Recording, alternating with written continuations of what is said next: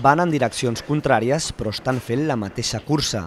Una cursa on el més important, més que fer-ho ràpid, és fer-ho bé. Enguany, el Trofeu Internacional Ciutat de Barcelona de Curses d'Orientació s'ha celebrat en el marc del City Race Eurotour, una gran prova europea que ha tret esportistes de més de 15 països diferents. Ha sigut un èxit eh, brutal, cosa que demostra que l'orientació aquí és creixent, creixent, creixent.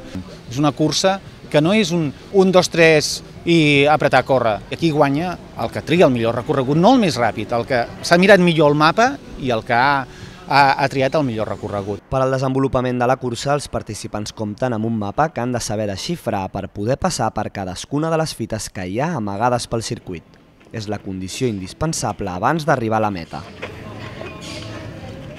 Tots ells han hagut de recórrer bona part de Ciutat Vella per acabar al Parc de la Ciutadella, en el que ha estat un recorregut força emblemàtic per la ciutat.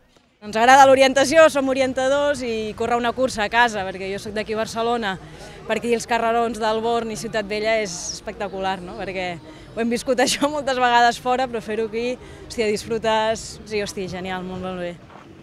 La veritat és que la cursa ha estat molt maca, el recorregut per aquí pel barri de la Ribera és preciós, realment hem pogut veure doncs, un dels llocs més macos, jo crec, de Barcelona. Les curses d'orientació són un esport d'ample espectre que engloben participants d'edats molt variades, des de nens i nenes de 5 anys que tots sols saben completar la prova, fins a atletes que en superen els 70.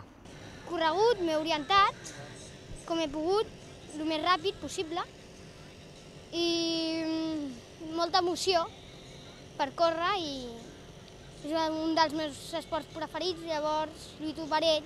Aquesta setena edició del Ciutat de Barcelona ha reunit un total de 800 esportistes que han competit en 19 categories diferents.